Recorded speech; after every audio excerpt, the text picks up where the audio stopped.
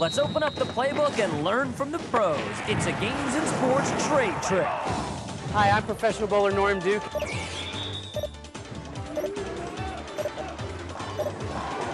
And for years, I've had trouble making that 10 pin. Today, I'm going to show you my trade trick on how to make that spare.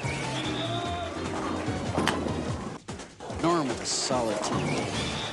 The biggest problem with sparing the 10 pin is most people like to curve the ball at the 10 pin. That ball will go right in the gutter prior to the curving of the ball. So my trick is to throw it very, very straight.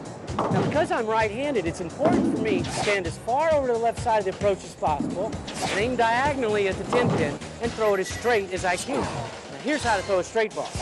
Now, if you can imagine this ball being just like a clock, I want to hold the ball with the thumb being at about 1 o'clock and the fingers at about 7. I don't want to rotate either direction in my swing. I just simply want to let go. Here's how that works. So remember, if you want to make the 10 pin like I can, stand as far over to the left as possible, throw it across lane at the 10 pin, and avoid any curve. I'm Norm Duke, that's my trade trick.